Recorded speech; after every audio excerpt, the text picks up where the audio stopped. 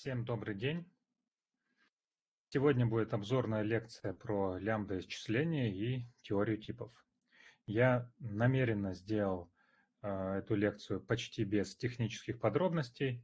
Здесь будет много истории, мало формализации.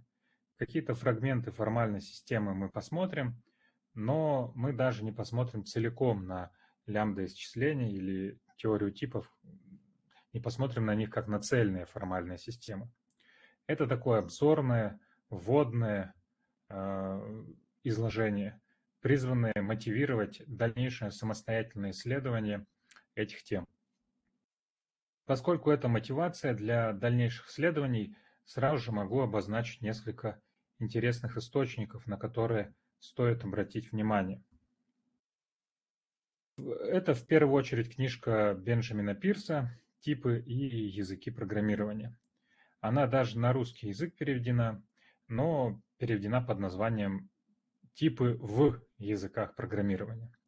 Затем это сборник под э, редакцией тоже Бенджамина Пирса «Продвинутые темы в типах и языках программирования». Также серия электронных книжек, которая э, разрабатывается коллективом авторов, э, серия по основаниям программного обеспечения. Серия из шести томов, но можно обратить внимание на первые два тома, которых будет вполне достаточно, чтобы ознакомиться с этой тематикой. Перейдем непосредственно к тому, что у нас сегодня будет. Для начала немного дальней такой истории, далекой истории. А, история способов записи для абстракции и подстановки могут быть прослежены э, по меньшей мере до работ Джузеппе Пиано, опубликованных в книге об аксиомах арифметики в 1889 году, до работ Готлоба Фреге по определению понятия функции и также до первого тома его книги «Основные законы арифметики», соответственно, они опубликованы в 1891 и в 1893 годах. До книги Чезаре Бурали Форти «Логика математика» 1894 года, также до работ Бертрана Рассела 1903-1905 годов. Это принципы математики и связанные с этой книгой рукописи а также трехтомника Бертрана Рассела и Альфреда Уайтхеда «Принципия математика» да, 1910-1913 э, годы. Но тем не менее ни один из этих авторов не дал формального определения понятий подстановки и преобразования. Определения этих понятий даются в комбинаторной логике и в лямбда-исчислении. Начало комбинаторной логики были заложены Моисеем Шинфинкелем, который представил свои идеи в 1920 году в докладе для исследовательской группы Давида Гильберта. А, доклад был опубликован позже, в 1924 году. А, основной целью Моисея Шинфинкеля было избавление от понятия связанной переменной. А, это понятие он считал чем-то дополнительным, второстепенным. Он считал э, связанные переменные второстепенными синтаксическими понятиями. Вот для этого э, Шинфинкель ввел то, что сегодня называется базовыми комбинаторами. Это комбинаторы B, C, I, K, S. Вот. Шинфинкель доказал, что комбинаторов K и S достаточно для определения всех прочих базовых комбинаторов. Ну вот мы немножко на этом моменте позже остановимся. А также Шинфинкель дал набросок доказательства комбинаторной полноты. Он указал, что функции от многих аргументов можно преобразовать в функцию, берущую свои аргументы по одному. В настоящее время эта операция известна как карирование да, в честь Хаскела Карри. А, ну, кстати, сам Хаскель Карри э, предлагал называть, э, ну, он, он сам приписывал рассмотрение этой операции Шимфинкелю, он прекрасно об этом знал. Вот. Хотя, вообще говоря, вот с исторической точки зрения было бы корректно даже говорить о том, что Фреги был первым, кто это описывал. Ну, по крайней мере, значительно раньше это сделал. Может быть, кто-то еще до Фреги что-то подобное говорит. Вот. Наконец, э, исследования в области логики привели вот уже упомянутого Хаскила Карри к необходимости изучения понятия подстановки. Тут надо отметить, что правило подстановки является несколько более сложным правилом по сравнению с другими правилами вывода. А, в частности, вот если брать там принципе математика, например, то а, в ней явное определение правила подстановки отсутствует. Вот. А такая интересная, скорее, скорее социологическая даже заметка а, по поводу правил подстановки. Вот в первом издании канонического учебника логики под авторством Давида Гильберта и Вильгельма Кермана это правило для логики предикатов дается с ошибкой. Вот интересный такой нюанс. То есть правило немного посложнее, чем э, остальные правила вывода и вызывает особый интерес. В 1926 году Карри э, начал работать над разбиением процесса подстановки на более простые составляющие и сформулировал понятие комбинатора схожая вот как раз с идеями Шинфинкеля. В следующем году, в 1927, Карри, это точно известно, он ознакомился со статьей Шинфинкеля, он поехал в Геттинген и в 1930 году там защитил диссертацию под руководством Бернайса. В этой диссертации он, в частности, доказал комбинаторную полноту для набора комбинаторов B, C, K и W. В работах Шинфинкеля и Карри всякий комбинатор мог применяться к любому другому комбинатору и к самому себе. Позднее этот нюанс был подвергнут критике с точки зрения семантики. Например, критические замечания высказывались Уиллардом Квайном. Но, вообще говоря, у Карри не было требования, чтобы каждая часть формальной системы имела какое-то значение в некоторой теоретико множественной семантике. Вот поэтому для него это Э, не было настолько актуальным. Ну, вообще, давайте посмотрим, как выглядит приблизительно, да, вот так вот, э, чисто э, обзорно. Посмотрим, как выглядит комбинаторная логика. Ну, вот можно задать такой набор комбинаторов. Это комбинатор А, это комбинатор тождества, да, вот он что принимает, то и возвращает. Комбинатор К, комбинатор С, вот они вот так вот э, выглядят. Соответственно, мы можем рассмотреть такой вот пример. Допустим, у нас есть запись вот такая вот S, KK и X какой-то. Вот, соответственно, мы сначала от внутренних скобок избавляемся. Они у нас были нужны для группировки. Потом мы, а, соответственно, делаем преобразование а, комбинатора S, да, вот по тому, как он у нас определен. У нас получается вот такая вот запись. Далее мы преобразуем и еще раз, и в итоге у нас выходит просто x. Да? То есть видно, что вот такой вот s, k, и x это, это будет равен x. То есть это, по сути, замена для комбинатора тождества, для комбинатора i. Вот. Но вообще комбинаторы можно представить как лямбда-термы без свободных переменных. Да? Вот дальше мы посмотрим, как выглядят лямбда-термы и немножко поговорим о связи с комбинаторами.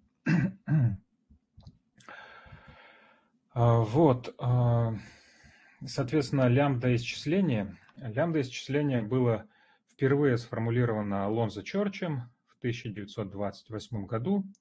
Опубликовано оно тоже с задержкой в 1932 году. А, главным замыслом Чорча было построение формальной системы, которая служило бы более естественным основанием для логики, чем теория типов Бертрана Рассела или теория множеств Эрнста Цермела. Система Чорча основана на понятии функции, а не множества, и в качестве примитивов там выбраны а, абстракция и применение.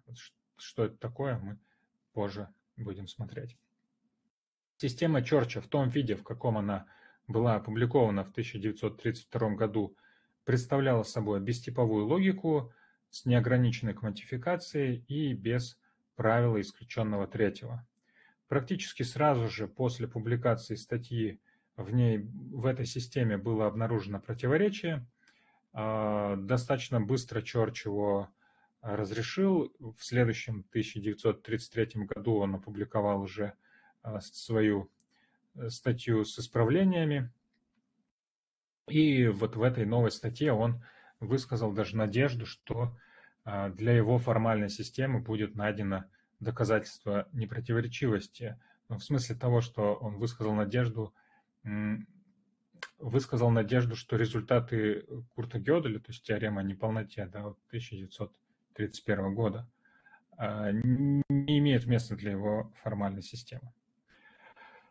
А в течение периода с 1931 по 1934 годы Чорч совместно со Стивеном Клини и Баркли Россером получил ряд важных результатов, вот, связанных с лямбда-исчислением. А для варианта исчисления 1933 года также было получено доказательство того, что формальная система, точнее, так скажем, ее логическая часть, а не само лямбда-исчисление, содержит противоречия.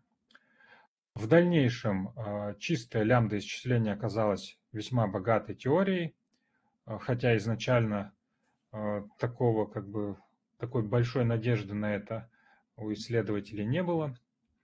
Ну, в частности, для чистого лямбда-исчисления был доказан вариант теоремы Чорча-Россера, что, в общем-то, гарантирует непротиворечивость. Также была обнаружена связь э, с комбинаторной логикой. Более того, было показано, что класс определимых в лямбда-исчислении функций эквивалентен рекурсивным функциям Эрбрана-Гёделя, а также Тьюринг-вычислимым функциям. На основе этого результата был сформулирован тезис Чорча, состоявший в том, что лямбда-определимость схватывает неформальное понятие эффективной вычислимости. Другими словами, функция на натуральных числах лямбда вычислима тогда и только тогда, когда соответствующая ей функция на числах Чорча может быть представлена в виде термо лямбда исчисления. А в конце концов, это позволило дать отрицательный ответ на проблему разрешения для первопорядковой логики. То есть решить задачу по обнаружению алгоритма, принимающего описание проблемы разрешения, то есть некоторый формальный язык, и математическое утверждение на этом формальном языке. И через конечное число шагов выдающий ответ вида истина или ложь. Сначала Чорчи доказал, что чистое лямбда исчисление рекурсивно неразрешимо, а затем, что не существует рекурсивной процедуры разрешения для определения общей значимости в первопорядковой логике. Эти же два результата были независимо получены Аланом Тьюрингом.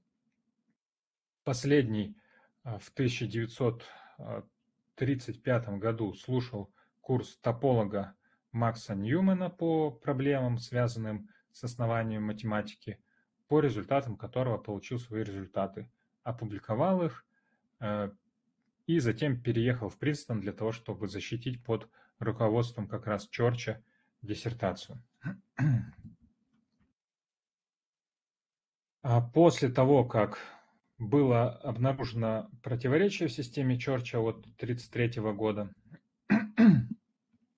Чорч ну, в каком-то смысле отошел от своей идеи формулировки общей бестиповой логики для основания математики и переключился на решение задач по формулировке теории простых типов на основе лямбда-исчисления.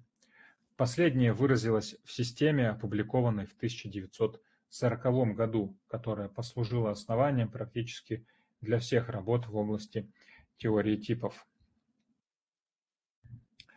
Карри также работал над э, теорией типов, и первые заметки, по которой э, от Карри известны с 1928 года. Подход к Карри отличается от подхода Рассела, собственно, основоположника теории типов, и Чорча. Э, если в подходе Чорча значение присваивается только правильно типизированным термам, или точнее выводом типов, то предполагает, что типизация определяет значение. Например, два одинаковых комбинатора с разными типами будут иметь разные значения. То в подходе карри значение присваивается термам вне зависимости от их типов. То есть термы интерпретируются как термы нетипизированного языка. А, это, в свою очередь, предполагает, что два одинаковых комбинатора с разными типами могут иметь одно и то же значение. Они даже не то, что могут иметь, они имеют одно и то же значение. Подход Карри также называют полиморфическим. А, о полиморфизме дальше будет немного подробнее. А, также различие между подходами Рассела Чорча с одной стороны и Карри с другой состоит в том, что Рассел и Чорч ввели типы для ограничения языка а, таким образом, что проблемные выражения были бы запрещены. Вот. А подход Карри в принципе разрешает использование любого комбинатора, но при этом комбинаторы а, получают своего рода метки, которые определяют их использование. Кроме того, э, в 30-х годах Карри заметил то, что позже было названо соответствием или изоморфизмом Карри Говарда, которое в э, наиболее простой форме представляет собой изоморфизм между типами, приписываемыми комбинатором, и формулами с импликацией, доказуемыми в интуиционистской логике. Позже Уильям Говард в 1969 году, результат опубликован намного позже, в 1980 году, вот э, Говард обнаружил соответствие между выводами типов и выводами высказываний, а также ряд других расширений этого вот соответствия, обнаруженного ранее Карри. В рамках теории типов имела место проблема того, каким образом следует понимать типы. Еще в принципе математика Рассела и Уайтхеда имело место два понимания. Во-первых, типы как область значимости пропозициональных функций, во-вторых, типы как множество. А первая интерпретация э, типов, то есть э, как значимости пропозициональных функций, связана с грамматическими категориями. Ну, допустим, нам дана некоторая пропозициональная функция. Тогда имеется класс объектов, тип аргументов э, этой функции. Такой, что функция имеет значение в том случае, если она применяется к объекту данного класса. Вторая интерпретация э, типов, то есть э, типы как множество, связана с разработками в области теории множеств, да, в частности, в области иерархии простых типов, а также теоретика множественных моделей теории типов. Э, к этим двум интерпретациям в 70-х, 80-х годах были добавлены еще две. Во-первых, это типы как объекты в категории, во-вторых, типы как высказывания на основе соответствия Карри Говарда. Вот, ну, чуть подробнее, наверное, стоит остановиться на типах как грамматических категориях. Тут тоже очень интересная и богатая история. А, дело в том, что Эдмунд Гуссерль в 1900 году а, попытался разработать чистые априорные законы позиционного значения. А, в конечном счете его идеи Казимира Твардовского были усвоены Львовской школой и, в частности, Станиславом Лесневским и Казимиром Айдукевичем. Вот Айдукевич первым разработал формализацию категорной грамматики, а, ну а дальнейшее развитие его идей было продолжено Егошуа Бархиллом, а также Иоакимом Ламбиком. То привело, например, к применению теории типов в математической лингвистике. И так и появилась грамматика Монтегю. Ну вот посмотрим, как э, лямбда исчисления выглядит. Вот здесь вот э, на этом слайде дается описание синтаксиса. У нас есть определение терма через переменные абстракции. Таким образом э, выглядит. Да, есть некоторые конвенции, которые обещают дальнейшую работу и описание того, как переменные связываются. Вот. Типовое лямбда исчисление служит основой для большого числа различных систем типов и представляет, представляет собой что-то типа вычислительного фундамента для теории типов. На самом деле лямбда исчисления является одним из нескольких исчислений, используемых для изучения языков программирования. Например, можно выделить еще P-исчисление, оно используется для описания семантики языков параллельных вычислений. Исчисление объектов, э, которые, которые используют для исследования объектно-ориентированных языков ну и, и так далее. В лямбда-исчислении все является функциями. Даже аргументы функций и то, что функции возвращают, это тоже функции. Синтаксис лямбда-исчисления состоит из трех видов термов. Это переменная, абстракция, применение, как я уже сказал. Для лямбда-термов мы будем в дальнейшем вот использовать эти вот конвенции на слайде. Во-первых, мы э, будем говорить, что применение лево ассоциативно, а во-вторых, э, будем говорить, что тела абстракции простираются направо как можно дальше. Вот, ну, нужно различать переменные объектного языка и метапеременные, соответственно, различию объектного языка и метаязыка. Я думаю, понятно.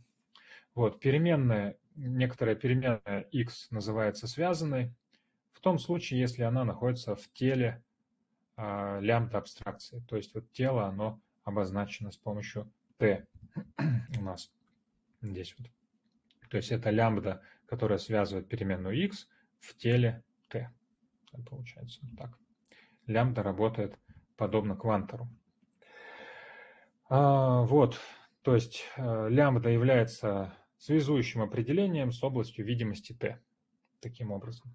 Да, вхождение x свободно в том случае, если оно не связано никакой вышележащей абстракцией.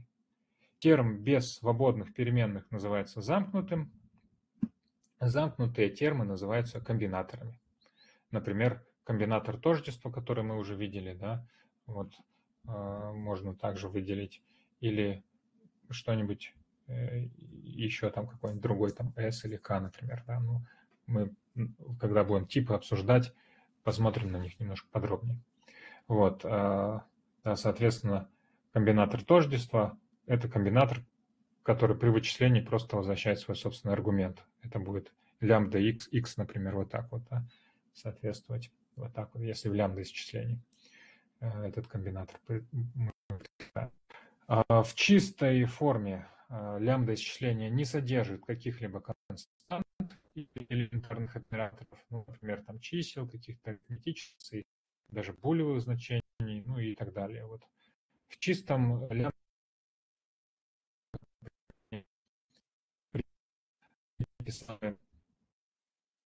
тоже являются функциями. Ну, дадим а, операционную семантику, то есть опишем некоторые правила абстрактного вычислителя какого-то, который э, производит вычисления над термами в соответствии с этими правилами. Каждый шаг э, вычисления состоит в том, что в терме применении в котором левый член является абстракцией, связанная переменная в теле этой абстракции заменяется на правый член. Вот запись вот такого вот вида, да, как вот здесь вот у нас есть. То есть что тут у нас происходит? Мы говорим, что вот эта лямбда связывает переменную x в э, теле абстракции t1. И здесь вот у нас есть применение. Да, мы осуществляем применение мы должны взять t2 и подставить вместо x в тело абстракции. При этом лямбда у нас пропадет. Вот, делаем подстановку в t1. Вот, как это выглядит. Вот у нас, допустим, есть опять лямбда тем, который соответствует комбинатору тождества, мы применяем его к какому-то y. Соответственно, мы должны взять этот y и подставить вместо связанной переменной в тело абстракции. Да, у нас лямбда связывает иксы, соответственно, вот в теле абстракции у нас только x есть, больше ничего. Мы берем y и вместо мы вычислим.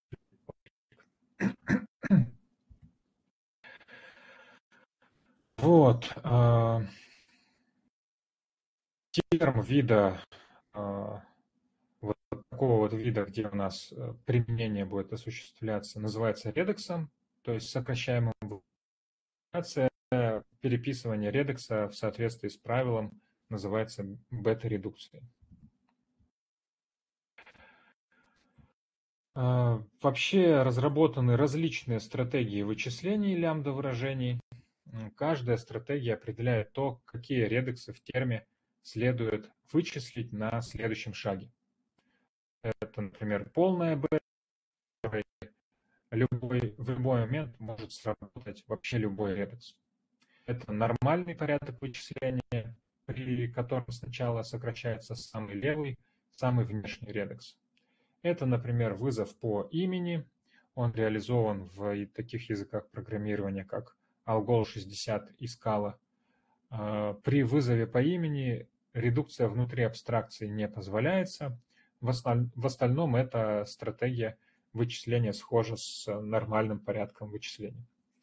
А, вызов по значению, он реализован в C, в Common Lisp, в Java, в Scheme. А, при вызове по значению редуцируются только самые внешние редексы. Причем при условии, что правая часть редекса уже приведена к какому-то значению, то есть замкнутому терму, а, который уже вычислен и не может быть вычислен далее. Вот, существуют и другие стратегии вычисления, например, аппликативный порядок то есть слева направо, изнутри наружу, э, вызов по ссылке, когда функция получает ссылку на переменную вместо ее значения. Э, вызов по соиспользованию, функция получает значение, содержащее ссылку на объект. Э, вызов по копированию, восстановлению, там, частичные вычисления, вызовности, как в языке Haskell, например вызов по макрораскрытию, когда текстовые подстановки осуществляются, то есть макросы как-то обрабатываются. Вызов по преднамеченности, оптимистичные вычисления и, и так далее. В общем, очень много разных стратегий вычисления. Ну, вот э, есть некоторая классификация для них. И вычисления делятся на строгие и не строгие. В том отношении, что использование строгих стратегий вычисления ну, например, к ним относится вызов по значению. Вот при строгих э, стратегиях аргументы функции всегда вычисляются, независимо от того, используются они в теле функции или нет. При нестрогих стратегиях вычисления, например, вызов по имени, вычисляются аргументы, которые действительно используются.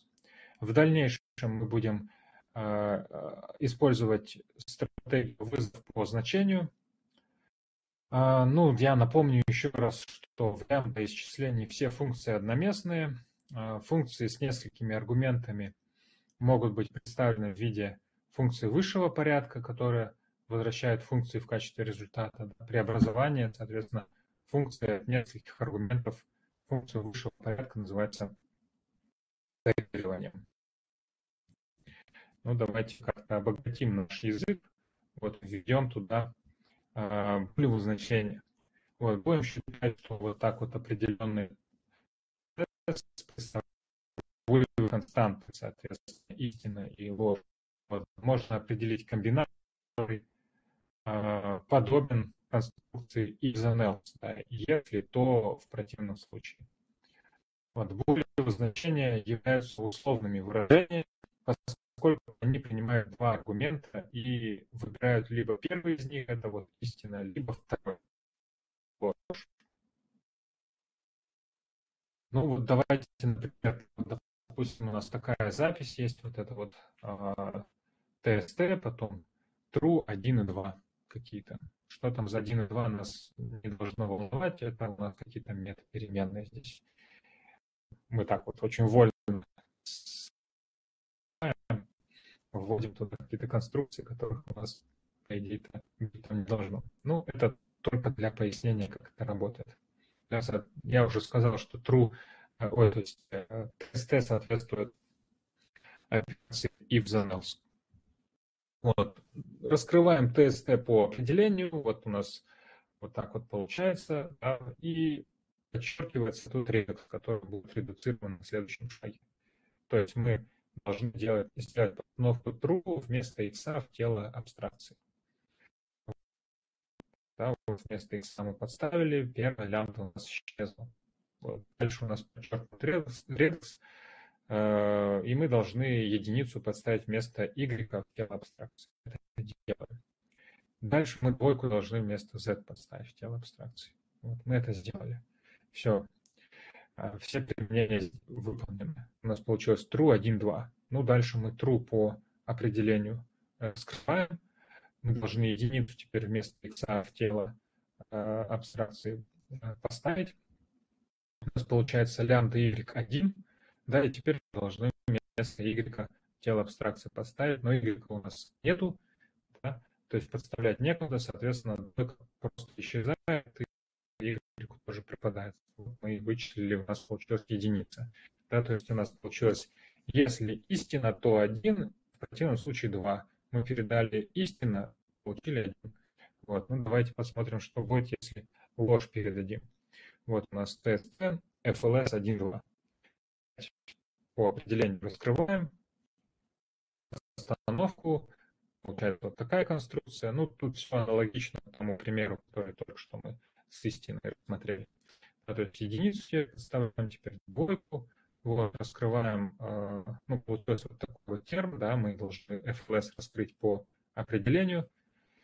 Э, теперь единицу должны вместо x поставить в тело абстракции, но x у нас в теле абстракции нет, поэтому единица просто пропадает, и лямбда по y тоже. Вот, теперь мы двойку вместо y должны подставить, и у нас вычислилась двойка. Да, то есть мы передали ложь, соответственно, Третий аргумент у нас сработал, да, двойка. А в первом случае и у нас сработал, соответственно, второй аргумент, то есть единица. Вот, так вот это работает. Ну, далее можно определить булевые операторы в виде функции, да, вот у нас конъюнкция определена, допустим, а, дисъюнкция, отрицание. Вот, ну, Давайте немного над конъюнкцией подумаем. В данном случае конъюнкция представлена как функция, да, она названа здесь end. Вот она, получив два булевых значения, y, если x, то есть если x истинен. И она возвращает FLS, то есть ложь, если x вот. То есть Например, такое, такая запись end x, y, оно выдаст true, если и x, и y будут равны true. И выдаст FLS, если x или y, или обе будут равны FLS. Да? И причем, если у нас x э, будет равен FLS, то на y мы вообще можем не смотреть. Ну, это понятно. То есть тут стандартная конъюнкция, которая истинна только в случае, когда, э, соответственно, обе, оба конъюнкта истины. Вот, ну, можно пойти дальше, э, определить числа Чорча вот таким вот образом, да, у нас э, каждое натуральное число, каждое натуральное число n представлено в виде комбинатора вот, вот такого вот c с индексом n. Здесь вот s это, соответственно, функция взятия следующего числа, оно дает за данным z это 0 отсчета. И таким образом ну, число Чорча в смысле n выполняет некоторое вычисление n количество раз. Вот так вот. То есть число это вычисление без разницы какое, да какое мы им передадим. Число э, выполнять. Можно э, для чисел Чорча определить стандартные арифметические операции. Да, вот функция, допустим, принимает аргумент n дает функцию, которая n к любому, а затем аргументу, ну и так далее. Да, то есть это такие вот функции высших порядков. Вот. А, но конечно, немного помедитировать над этим, допустим, вот 2 плюс 1 и 1 плюс 2, вот у нас вот тут вот записи уже есть и по а, определениям. Ну, мы на самом деле, да, это штука такая, с некоторыми особенностями, вот. Но тут интересно, что даже оказаться разным. Да, вот у нас 2 плюс 1, ну, допустим, мы выбрали какую-то стратегию вычисления, вычислили 2 плюс 1, у нас получилось там вычисление, ну, скажем, за 10 шагов. Да? А потом мы с той же самой стратегией вычисления пробуем работать с примером 1 плюс 2, и у нас получается вычисление за шагов может оказаться разным. И вот в лямбда исчислении мы, соответственно, можем на основе количества шагов различать плюс 1 одно и то же. И если нам важна эффективность какая-то, да, мы можем а, обратить внимание на эту разницу. Соответственно, когда мы, допустим, реализуем, ну, когда какой-то инженер реализует э, некоторую, некоторые арифметические, допустим, операции в вычислительной машине, да, он может обратить внимание на то, какие операции, в каком порядке аргументы надо передавать там, да, и, и как эти операции они имеют количество для вычисления. Ну, то есть получается так, что вот в лямбда исчислении абстракции представляют собой описание операции, которую нужно произвести, имея некоторые аргументы. Термы могут вести себя, по идее, одинаково, будут давать одинаковые значения, будут требовать разных вычислительных ресурсов. Да, вот это связано с тем, что лямбда исчисление с собой интенсиональную конструкцию. Но при этом к, нему, к лямбда исчислению можно добавить что-то типа принципа экстенсиональности, и тогда мы э, от этого уже сможем переходить к более понятным абстракциям. А вот. Ну, определение терма у нас уже, в общем-то, было, да, то есть мы говорили, что терм может быть переменной, э, может быть э, абстракцией или применением. Вот. Соответственно, можно определить множество свободных переменных, да, как fv у нас будет определяться здесь на слайде. Можно определить множество собственных, оно вот определяется как вот bv, а здесь вот на слайде. Вот. А, далее. При вычислении терма вообще-то может получиться какое-то значение. Либо вычисление может зайти в тупик, какие-то странные термы. Ну, применение функции, возвращающей предыдущее натуральное число к булевому значению, у нас получится что-то странное, если мы это сделаем. Вот. Или есть такие комбинаторы, вот карри особенно, а, обращал внимание там, на комбинатор омега. Да, мы можем а, бесконечно вычислять этот комбинатор и никогда не дойдем до какого-то окончательного значения. То есть вычисление не закончится никогда. Вот, тупиковые термы. Тупиковые термы соответствуют бессмысленным или ошибочным программам. Мы бы хотели определять такие тупиковые термы не производя вычисления, да, чтобы у нас зависал, условно говоря. Вот, для этого необходимо различать термы по тому, каковы будут их значения. Будут ли они числами или булевыми константами, да, и, соответственно, аргументы, которые мы можем использовать. А, в дальнейшем будем говорить, что терм t имеет тип t большое.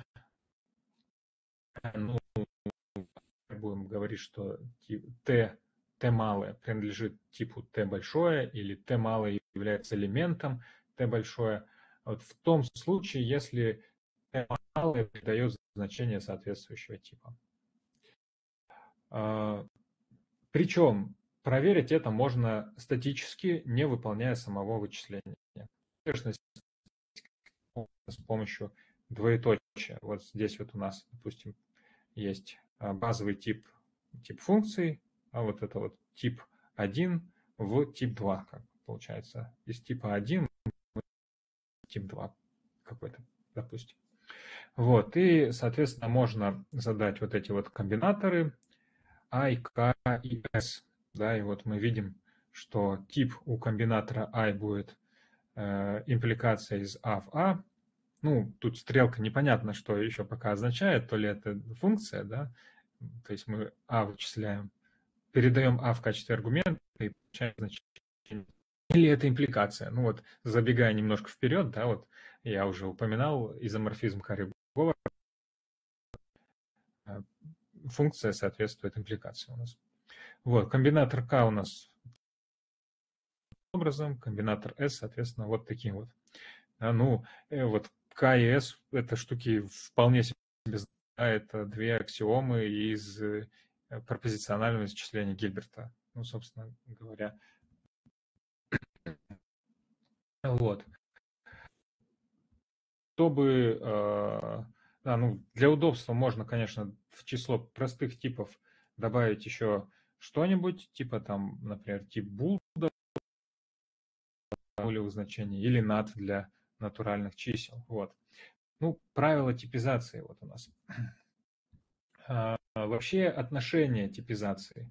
Отношение типизации – это наименьшее бинарное отношение и типами, удовлетворяющее Э, этим правилам типизации. Да, терм Т малое является типизируемым, или иногда говорят хорошо типизированным, или корректно типизированным, тогда это тогда да, существует Т малое принадлежит Т большое. А, вот. А, поскольку чистое лямбда исчисление Тьюринг полно, то дать точный типовой анализ всех примитивов языка невозможно. Типизация для переменных, допустим, вот посмотрим. А, предпосылка этого правила означает, согласно гамма, гамма это некоторый контекст, согласно гамма предполагается, что x имеет тип t. Вот, далее следует определить э, правило типизации для применения.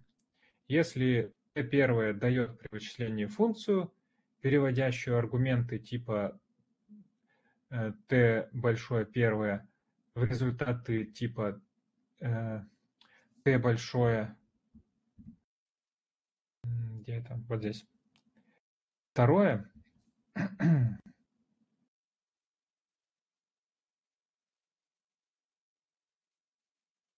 И если t второе дает при вычислении результат типа t большое первое, то результат применения t первого к аргументу t второе будет иметь тип t большое второе. Вот так. А, итак, заметьте, что а, конструктору вот типов функций, то есть стрелкам, соответствуют два вида правил. Правило введения, которое показывает, как элементы этого типа могут создаваться, и правило удаления, которое показывает, как элементы этого типа могут использоваться. Ну, сама эта терминология используется по аналогии с правилами натурального вывода. А обоснованием использования этой терминологии, собственно, является э, соответствие Карри Говарда. Вот. В конструктивных логиках доказательство некоторого предложения представляет собой демонстрацию конкретного свидетельства в пользу доказываемого предложения. Э, это свидетельство во многом похоже на вычисление. Ну, например, доказательство предложения там, если P, то Q, да, то есть P импликация Q, представляет собой механическую процедуру, которая, получая на входе доказательства P, строит доказательство Q. Да, то есть вот из некоторые предпосылки строит нам Q, и таким образом мы доказываем по импликации Q ну, правила введения импликации. Понятно, как работает в натуральном исчислении. То есть у нас вот, э, вот эти вот два правила типизации э, и для применения они соответствуют э, правилам введения и удаления импликаций в натуральном исчислении. Вот. А, согласно соответствию Карри Говарда, терм в, про, в прос, просто типизированном лямбда-исчислении является доказательством логического предложения, соответствующего его типу. Вычисление соответствует упрощению доказательства методом устранения сечений. А фактически соответствие Карри Говарда можно распространить на широкий спектр систем типов э, и логик. Например, одна из наиболее исследованных э, систем типов, система F, соответствует конструктивной логике второго порядка. А линейная логика Жирара, например, соответствует линейным э, системам типов.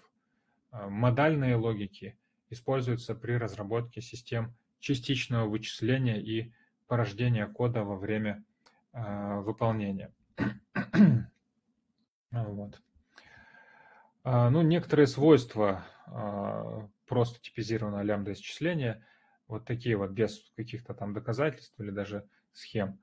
Э, во-первых, можно доказать лемму о порождении, согласно которой из утверждения о типе а, ну, эта лемма позволяет из утверждения о типе получать доказательства этого утверждения. Затем теорема о единственности типов, согласно которой всякий терм имеет не более одного типа. Теорема о продвижении, а, хорошо типизированный терм не может быть тупиковым. Теорема о хранении хорошо типизированного терма дает другой хорошо типизированный терм. О единственности, конечно, э, несколько ограничивает да, нас э, в работе с этим формализмом. Да, всякий терм имеет не более одного типа. Если мы вспомним, например, теорию множества, там какой-то, там, ну, скажем, объект может являться э, элементом сразу нескольких множеств, хоть вообще скольки угодно множеств. Вот, и здесь у нас терм только одному типу э, относится. Вот, соответственно, э, для того, чтобы э, с этим как-то было удобно работать, можно вводить то, что называется полиморфизмом. Это, например, полиморфизм через подтипы, когда мы говорим, что один тип является подтипом некоторого другого типа. Да, вот у нас S является подтипом типа T вот здесь вот на слайде. Вот, ну то есть мы будем говорить, что всякий терм, имеющий тип S, можно, может безопасно использоваться в контексте, где ожидается терм типа t. Да, то есть функция, допустим, ну не знаю, у нас там определены, например, натуральные числа, а, как подтип э, там, целых, например. Вот, соответственно, если функция у нас а, принимает в качестве аргумента целое число, то мы можем ей натуральное передать, потому что а, натуральное это подтип целых. Да? Вот так вот полиморфизм через подтипы работает. Есть более мощный вариант полиморфизма, более такой интересный. Это параметрический э, полиморфизм. Он позволяет одинаково работать со значениями разных типов. Вот тут у нас получается, что термы будут от типов зависеть. Вот, в этом случае будут использоваться типовые переменные или параметры. Да, ну вот у нас, например, э, тот же самый комбинатор тождества, да, мы можем его определить для булевых значений, вот как у нас здесь сделано, лямбда x, э, который относится к типу bool, и x в итоге возвращается. Да, и можно определить для натуральных чисел, да, лямбда x, э, где x относится к натуральным числам, вот x. Вот, они не полиморфны, да, хотя они ведут себя одинаково, да, вот, но при этом э, в первом случае они работают только с аргументами булевого типа, а во втором случае только аргументами натуральных, которые относятся к натуральным числам. Вот, мы можем заменить, например, здесь bool и nat, соответственно, на некоторую типовую вот на а, получится лямбда x, э, где x тип а, x, вот. Это у нас будет такая э, лямбда-комбинатор, ой, э, самый комбинатор тождества, комбинатор тождества полиморфный вот в соответствии с параметрическим полиморфизмом. То есть здесь у нас А это вообще типовая переменная, она будет работать с, со значением любого типа. Вот, то есть вот эта вот э, функция лямбда x, где x имеет тип А, э, и потом в теле абстракции просто x, она будет принимать любые любые аргументы, да, то есть вот эти вот конкретные комбинаторы тождества для булевых значений и для натуральных чисел, они будут постановками, соответственно, булы над вместо вот этого, этой типовой переменной, типовой переменной а. а вот, ну вообще способов расширения лямбда, э, просто типизированного лямбда исчисления существует несколько. Вот, например, лямбда куб можно назвать, такая вот интересная конструкция. Здесь э, вот лямбда со стрелочкой, то есть левый, нижний, ближний к нам, как бы вот эта вот вершина, левая, нижняя, ближняя к нам. Это э, как раз просто типизированное лямбда исчисление. Вот, мы можем его расширять разными способами, да, вот в соответствии с движениями по э, вот этим стрелкам здесь. У нас, значит, лямбда куб э, предложил Хенк Баренрект, и здесь мы можем, например, вот, мы движемся вот сюда, вот отсюда, вот в лямбда p, допустим, да, то мы добавляем зависимые типы. То есть тут у нас типы будут зависеть от термов. Мы можем двигаться, например, вверх, да, вот это вот лямбда 2, где написано. Соответственно, это будет э, добавление полиморфизма. То есть здесь у нас термы будут зависеть от типов. И мы можем двигаться вот, вот так вот, да, к лямбда с омегой. Это у нас, соответственно, э, типовые операторы, типы будут зависеть от типов. Вот, ну, э, если мы все способы да, вот, способы расширения э, просто типизированной лямбда исчисления э, применяем, то мы получаем вот это вот лямбда p омега, вот тут вот сверху, которая правый верхний дальний, э, правый верхний дальний вершина этого куба. Это исчисление построений. Вот самая мощная система этих вот систем лямбда куба. Ну, надо сказать, что для всех систем лямбда куба выполняется строгая нормализация. Вот, то есть они, в общем, э, вычисления там заканчиваются всегда. Вот, теперь еще поговорим немножко об универсумах. Универсум – это тип, элементами которого являются типы, собственно. Да. Универсум организованы, можно сказать, что есть универсум нулевой, первый универсум, второй и так далее и универсумы понимаются кумулятивно. Ну, это что-то подобное стадиям в кумулятивной иерархии Цермела, когда у нас вот сначала там, на нулевой стадии у нас, э, там, например, либо есть какие-то ур-элементы, либо ничего нету, да, соответственно, мы должны создать все множества из того, что у нас есть. Да. Если у нас ничего не было, мы создаем пустое множество да, вот на первой стадии. Потом мы создаем, соответственно, синглетон, из пустого множества на следующей стадии, ну и так далее, и так далее. Да, вот. И здесь у нас также вот э, иерархия, э, иерархия универсумов вот так вот. Да, то есть есть некоторый э, базовый, базовый универсум, где простые типы находятся, и потом что-то более высокое. Вот. Ну, зачем нам нужны эти универсумы? Наши, эти универсумы нужны для того, чтобы зависимые типы задать. Вот. Вообще э, предикат, что-то утверждающий о токенах да, или термах определенного типа А, представляет собой функцию типа А в У. Вот, а в универсум. Вот, эта функция принимает терм x типа А в качестве аргумента и возвращает какой-то P от x с типом U в качестве значения. Вот здесь у нас э, типы зависят от какого-то терма, да, то есть от, от значения терма, и зачастую э, э, это значение относится к некоторому другому типу. Вот, ну, допустим, у нас может быть тип списков, э, он никак не ограничен, просто тип списков, да, там все, все возможные списки. А можно определить тип списков длины 3, вот, то есть там это, это все списки, только содержащих три элемента. Но есть гораздо более интересные примеры. Допустим, можно определять какие-то предикаты. предикаты, которые что-то утверждают о термах типа А, они вот как раз представляют собой вот такие вот функции из А в универсум. Вот эта функция, как я уже сказал, принимает некоторый терм x типа А и возвращает P от x, имеющий тип универсума. Зачем это нам нужно?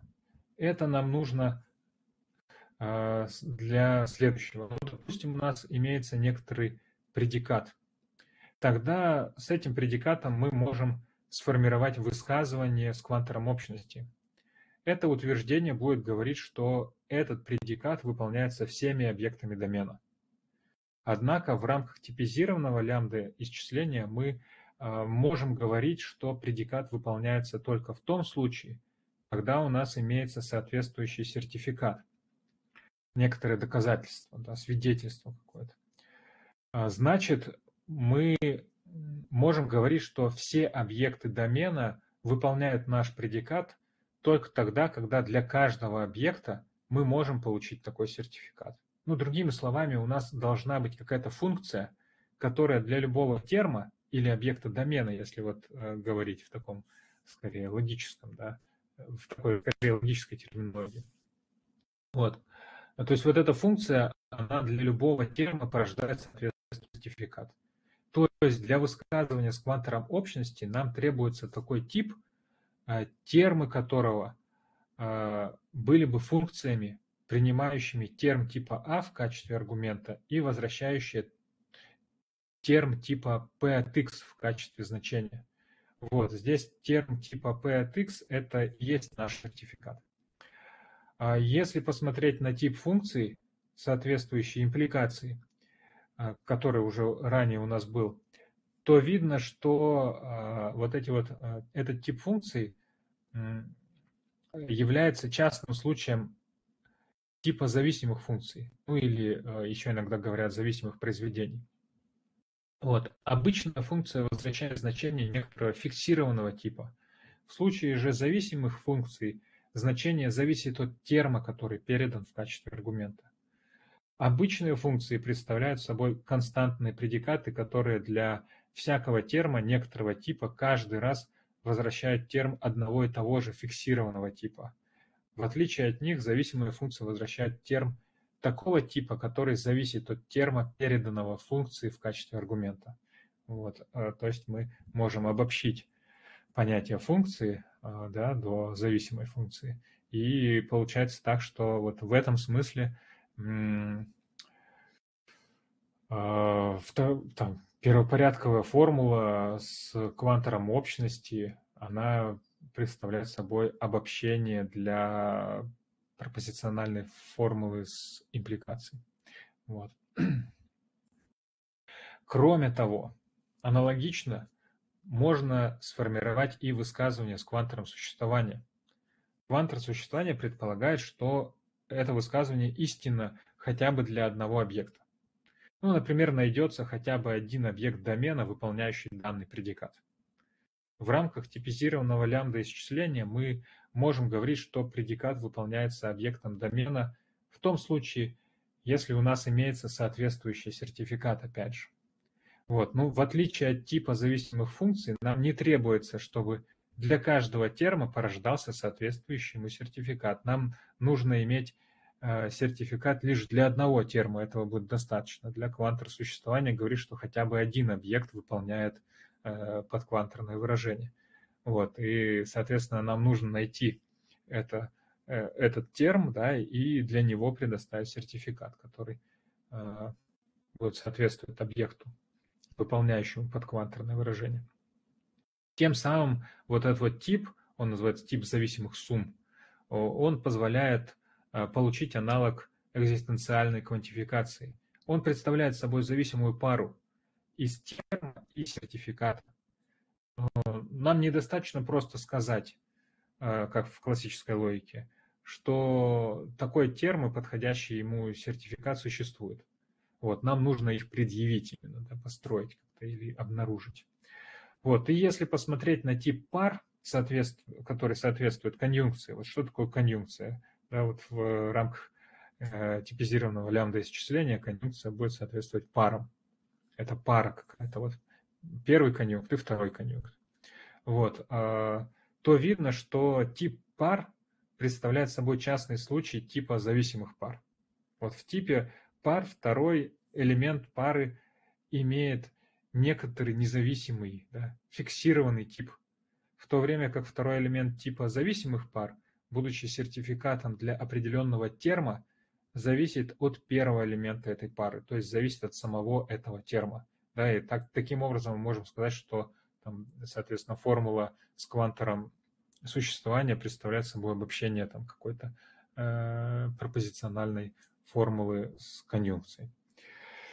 А, вот. На этом на сегодня все. Такой несколько сумбурный обзор получился.